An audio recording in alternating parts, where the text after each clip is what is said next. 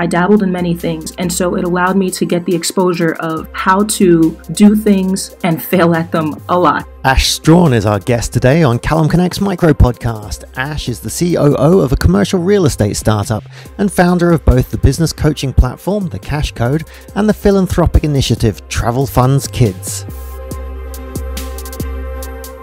Thanks for having me, Callum. The hurdle that I faced as an entrepreneur is twofold. It was building belief in myself, and part of that being being okay with failing. As an entrepreneur getting started with no background of entrepreneurship, a lot of the times we're afraid that whatever it is that we're working on is not going to do well. For me, it started as just giving advice. That's how I laid the groundwork for the Kash Code. It was just giving advice. It was taking all of the knowledge and experience that I have in building certain parts of companies and scaling companies for all the companies that I've worked for, helping scale parts of those businesses, helping that operation run a lot smoother, that I was then giving that advice to friends that were in similar roles or entry level roles or wanted to start their own business as well. Another part of it was as I was growing as an entrepreneur, I dabbled in many things. And so it allowed me to get the exposure of how to do things and fail at them a lot. And so when I was learning to hire the right type of talent and where to hire from, when I was learning how to market, when I was learning how to use the digital world, there were so many things I failed at. There were so many bad hires. There were so many people I didn't vet. There were so many missteps, uh, lost investment, and not major investment, but enough where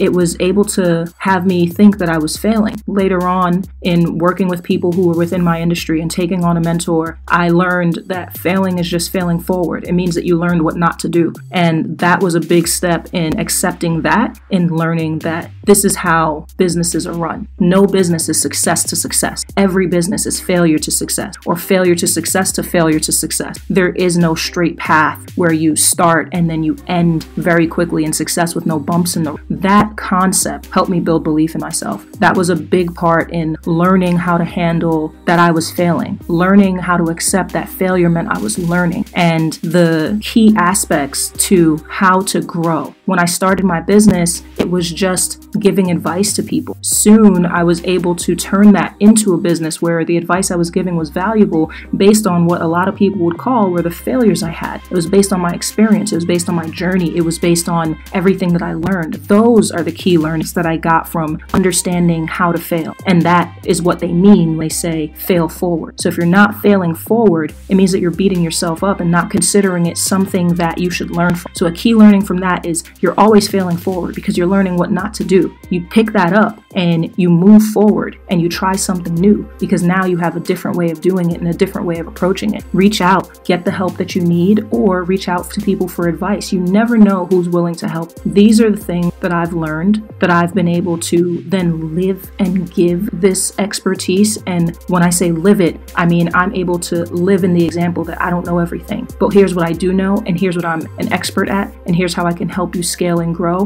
whether you're an individual or you're an actual small business looking to smoothen out and scale those operations. So I hope that helps people who are listening in because it helped me. I'm happy to be here. Thanks again for the invite.